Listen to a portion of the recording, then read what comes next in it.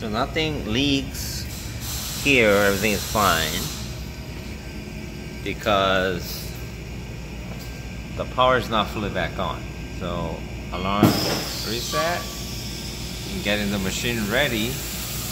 Then you hear this hissing sound that's coming from this particular solenoid.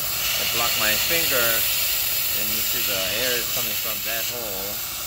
And this is pouch opening support suction R, which is pouch opening suction cups, which is controlled by this switch, pouch opening suction. So I touch the button, it's still, the solenoid is hissing. And bottom opening support suction R, it is clicking, working. However, the hissing, the air leak from that continues.